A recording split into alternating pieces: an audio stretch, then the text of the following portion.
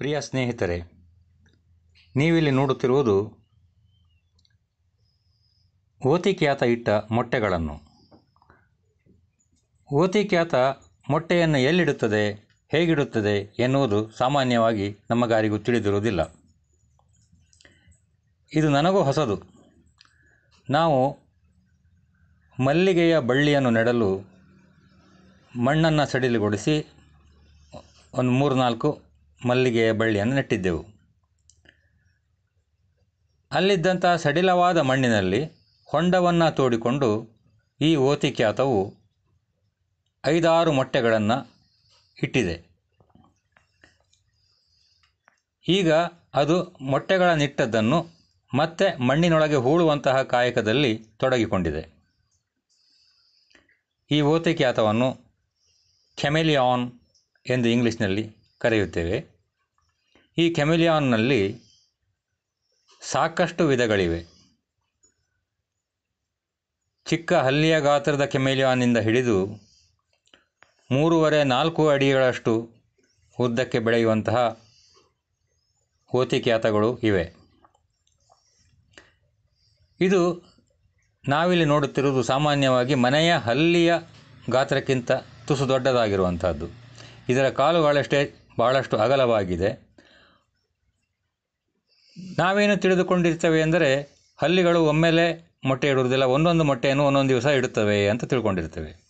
ಆದರೆ ಹಾಗಿಲ್ಲ, ಈ ಓತಿಕ್ಯಾತವು ಒಂದೇ ದಿನ ಐದರಿಂದ ಆರು ಮೊಟ್ಟೆಗಳನ್ನು ಈ ಹೊಂಡದಲ್ಲಿ ಇಟ್ಟುಕೊಂಡಿದೆ. ಈಗ ಅದು ಆ ಹೊಂಡವನ್ನು ಮುಚ್ಚುತ್ತಾ ಇದೆ. ಮೊಟ್ಟೆಗಳನ್ನು ಮುಚ್ಚಿ ಹೂತು ಹಾಕುತ್ತದೆ. ಇಲ್ಲಿ ನೀವು ನೋಡಬಹುದು, ಆ ನನ್ನನ್ನೇ ನೋಡುತ್ತಿದೆ. ನಾನೊಂದು ತುಸು ಅಲ್ಲಾಡಿದರೂ ಸಾಕು, ಅದು ತನ್ನ ಕೆಲಸವನ್ನು ನಿಲ್ಲಿಸಿಬಿಡುತ್ತದೆ. ಹೀಗಾಗಿ ನಾನು ಸಹಿತ ಸಾಕಷ್ಟು ಬಾರಿ ರೆಕಾರ್ಡಿಂಗನ್ನು ಪಾಸ್ ಮಾಡಿ ಮಾಡಿ ಈ ವಿಡಿಯೋವನ್ನು ಮಾಡಬೇಕಾಯಿತು.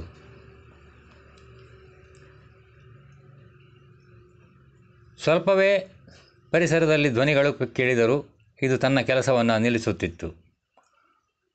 ಮತ್ತು ಸಂಪೂರ್ಣವಾಗಿ ನಿಶ್ಶಬ್ದವಾದಾಗ ಮತ್ತು ಯಾವುದೇ ಅಲುಗಾಟ ಇಲ್ಲದೇ ಇದ್ದಾಗ ಇದು ತನ್ನ ಕೆಲಸವನ್ನು ಮುಂದುವರಿಸುತ್ತಿತ್ತು. ನೀವಿಲ್ಲಿ ನೋಡಬಹುದು, ಅದು ಒಂದು ಕಣ್ಣಿನಿಂದ ನನ್ನನ್ನು ದುರುಗುಟ್ಟಿ ನೋಡುತ್ತಿರುತ್ತದೆ.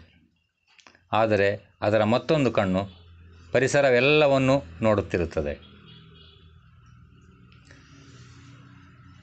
ಇದು ಈ ಕೆಮಿಲಿಯಾನ್ ಅಥವಾ ಓತಿಕ್ಯಾತಗಳಿಗಿರುವಂಥ ಮತ್ತೊಂದು ವೈಶಿಷ್ಟ್ಯ. ಅದು ಒಂದು ಕಣ್ಣನ್ನು ತನಗೆ ಎಲ್ಲಿ ಅಪಾಯವಿದೆಯೋ ಆ ಕಡೆ ಫೋಕಸ್ ಮಾಡಿ ನೋಡುತ್ತಿರುತ್ತದೆ, ಮತ್ತಿನ್ನೊಂದು ಕಣ್ಣಿನಿಂದ ಸಂಪೂರ್ಣ ಪರಿಸರವನ್ನು ನೋಡುತ್ತಿರುತ್ತದೆ. ಈಗ ನೋಡಿ, ಇಲ್ಲಿ ಈ ಓತಿಕ್ಯಾತ ತನ್ನ ಮೂತಿಯಿಂದ ಮಣ್ಣನ್ನು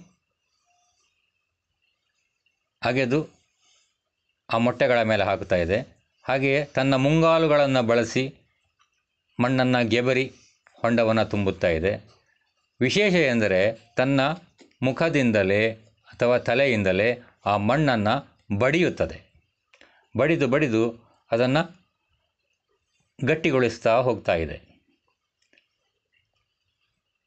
ಅದು ತಾನು ಹೊಂ, ತೋಡಿದಂತಹ ಹೊಂಡವನ್ನು ಸಂಪೂರ್ಣವಾಗಿ ಮುಚ್ಚಿ, ಮತ್ತೆ ಅದು ಪರಿಸರದಲ್ಲಿ ಅದು ಬೇರೆಯಾಗಿ ಕಾಣಿಸದಂತೆ ಮಾಡುವುದು ಈ ಓತಿಕ್ಯಾತದ ಒಂದು ವೈಶಿಷ್ಟ್ಯ ಎಂದು ಕಾಣಿಸುತ್ತದೆ.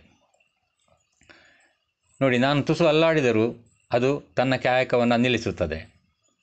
ನಾನು ಮತ್ತೊಮ್ಮೆ ರೆಕಾರ್ಡಿಂಗನ್ನು ಮುಂದುವರಿಸಬೇಕು ಎಂದರೆ ಅದರ ಕಣ್ಣು ತುಸು ಅಲ್ಲಾಡಿದರೂ ಸಾಕು ಅದು ತನ್ನ ಕಾಯಕವನ್ನು ಮತ್ತೆ ಪುನಃ ಶುರು ಮಾಡುತ್ತದೆ ಎಂದು ನಾನು ರೆಕಾರ್ಡಿಂಗನ್ನು ಆರಂಭಿಸುತ್ತಿದ್ದೆ. ಸುಮಾರು ಒಂದು ಕಾಲರಿಂದ ಒಂದೂವರೆ ಗಂಟೆಯ ಕಾಲ ನಾನು ಈ ರೆಕಾರ್ಡಿಂಗನ್ನು ಮಾಡಬೇಕಾಯಿತು. ಇಲ್ಲಿ ಆರು ನಿಮಿಷದಿಂದ ಆರು, ಏಳು ನಿಮಿಷಗಳ ಕಾಲದವರೆಗಿನ ಒಂದು ರೆಕಾರ್ಡಿಂಗನ್ನು ನಾನಿಲ್ಲಿ ನಿಮಗೆ ಕೊಡುತ್ತಿದ್ದೇನೆ.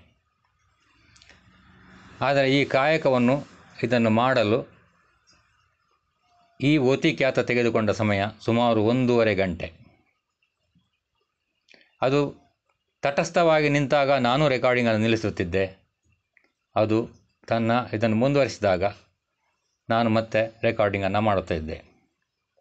ಈ ಓತಿಕ್ಯಾತಗಳು ಹಾವಿನ ಜಾತಿಗೆ ಸೇರಿದವು.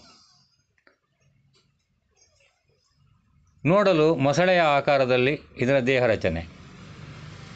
ಮೊಸಳೆಗಳು ಸಹಿತ ನೀರಿನಿಂದ ಮೇಲೆ ಬಂದು ನದಿಯ ಬದುವಿನಲ್ಲಿ ಮೊಟ್ಟೆಗಳನ್ನು ಇಡುತ್ತದೆ. ಹಾಗೆಯೇ ಈ ಓತಿಕ್ಯಾತವು ಸ್ವಲ್ಪ ಎತ್ತರವಾದ ಬದುಗಳಲ್ಲಿ ಎಲ್ಲಿ ಸಡಿಲವಾದ ಮಣ್ಣು ಸಿಗುತ್ತದೆಯೋ ಅಲ್ಲಿ ಮೊಟ್ಟೆಯನ್ನು ಇಡುತ್ತದೆ. ನೋಡಿ, ಅದು ಮತ್ಪನ ದುರುಗುಟ್ಟಿ ನನ್ನನ್ನೇ ನೋಡ್ತಾ ಇದೆ. ಅದರ ಕಣ್ಣಿನಲ್ಲಿ ಸ್ವಲ್ಪ ಚಲನೆ ಕಂಡಿತು ಎಂದರೆ ಅದು ಮತ್ತೆ ಪುನಃ ಕೆಲಸವನ್ನು ಆರಂಭಿಸುತ್ತದೆ ಎಂದು ನನಗೆ ಸೂಚನೆ. ಆದರೆ ಅದು ಇನ್ನೊಂದು ಕಣ್ಣಿನಿಂದ ಮತ್ತೆ ಉಳಿದ ಪರಿಸರವನ್ನು ನೋಡುತ್ತಾ ಇರುತ್ತದೆ. ನನ್ನ ಮೇಲೆ ದಿಟ್ಟಿಸಿದ ದೃಷ್ಟಿ ದೃಷ್ಟಿ ಒಂದು, ಪರಿಸರವನ್ನು ನೋಡುತ್ತಿರುವ ದೃಷ್ಟಿ ಇನ್ನೊಂದು. ಈಗ ನೋಡಿ, ಸಂಪೂರ್ಣವಾಗಿ ಅದು ಮಣ್ಣನ್ನು ಮುಚ್ಚಿದ ನಂತರದ ದೃಶ್ಯವನ್ನು ತಮಗೆ ತೋರಿಸುತ್ತೇನೆ. ಕೊನೆಯಲ್ಲಿ ಆ ದೃಶ್ಯವೇ ಬರಲಿದೆ. ಆ ದೃಶ್ಯದಲ್ಲಿ ಈ ಓತಿ ಖ್ಯಾತ ಇಲ್ಲ.